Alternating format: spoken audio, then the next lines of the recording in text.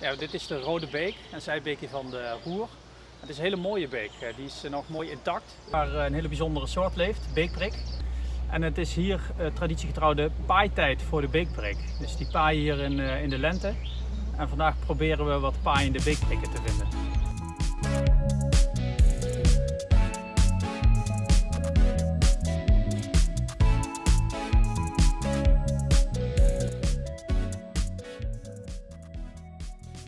Je hebt hier een hele mooie afwisseling van uh, stroming, wat uh, ervoor zorgt dat je zand en grind hebt. En je hebt ook luwe plekjes uh, waar die larven van de beekprik graag leven. En wat die beesten dan doen, dan komen eerst de mannetjes.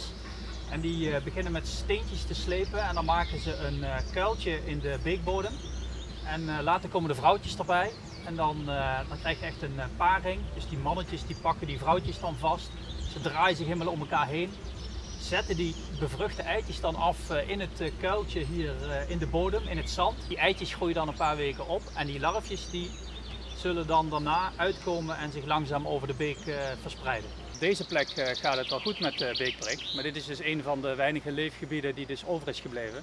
Want ten opzichte van de vorige eeuw is ongeveer maar de helft van de leefgebieden intact gebleven.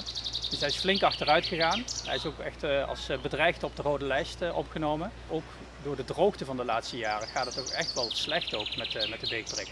Dus we moeten echt nog steeds heel hard ons best doen om die eh, populaties in stand te houden. Wat we bij RAVAN doen, eh, dat is eh, onderzoek om te zien hoe het met beekprikken gaat. En dat is belangrijk om te weten of het verbetert of verslechtert en waar ingrepen nodig zijn. En mensen, vrijwilligers, die kunnen er ook aan meedoen door aan onze meetnetten mee te doen. En onderzoek uit te voeren, zodat wij gegevens hebben over hoe het nu gaat met, met de beekprik. Nou, je hebt hier dus de, de beekprik, maar er is nog een groter broertje, dat is de rivierprik.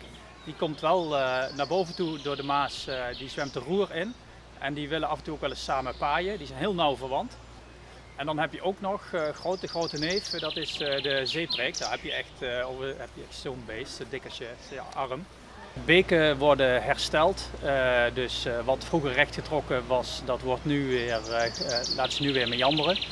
En uh, de waterkwaliteit is natuurlijk uh, verbeterd. En als je een beetje die natuurlijke processen weer zijn gang laat gaan met dood hout in de beek, beboste oevers en een beetje beschaduwing, ja, dan, dan wordt het al snel weer uh, geschikt voor de, voor de. We hebben natuurlijk een, belangrijke opgave om het effect van de droogte ook te niet te doen. Dus dat, zijn grote processen die ook gaan over onttrekking van water voor landbouw. en drinkwateronttrekking. En dat zorgt ervoor dat beken toch sneller droog vallen nu. En dat is wel een hele lastige opgave om zomaar even te herstellen. Tot die tijd moeten we echt goed ons best doen om die leefgebieden goed in stand te houden.